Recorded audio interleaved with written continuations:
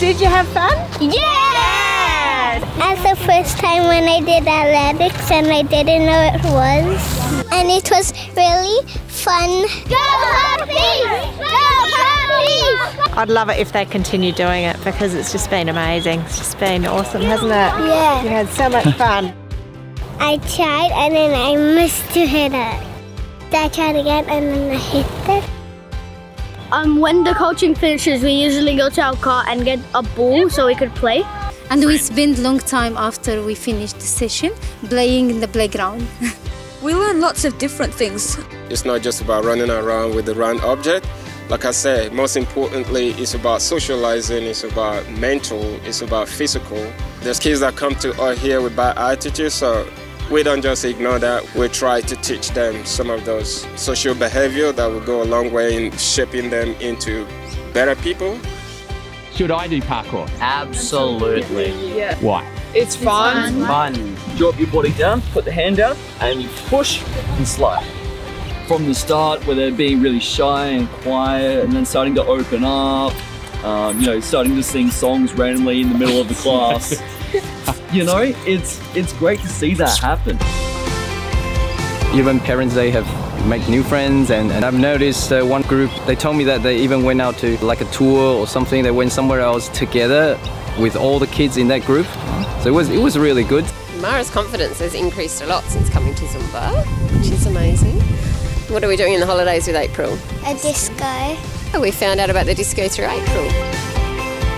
This is our fifth month here. It's uh, our first time to Australia actually. Oh, yeah, so these uh, sessions are really, really good. So we get to know locals. We have the chance to experience the lifestyle here. And the boys, I guess, have met friends. Yes, friends. They yeah, they know them by names. they had a great time out there. So They're I. smiling all the time, and it's really great. It's really great. So we really appreciate. it. It's not just the kids that are having fun, the parents having fun, they're meeting with the new uh, family, and especially for the new arrival to our community, they don't have a friend, so they come and meet with the with the other parents here, and they become a friend. So we have a multicultural group, and Australia all about multicultural, so that's another good thing. Good game, good game, good game, good game. It's just a fantastic initiative from the council. I mean, it's amazing. Yeah, we get a lot of people who use this as uh, their first time playing a sport. Through this program, we uh, get about 15 kids sponsored to Start Line Club. So that's a, a blessing uh, for uh, the community here and for those kids that they missing out. Once they finish tennis lessons, they can go Over there. straight into playground over there with their friends, maybe new friends they just met, and Yeah. yeah, it's, it's really good. Yeah, we just want to thank the coach, thank the Marion Council for giving um, our kids this opportunity, which is a big deal for us, yeah.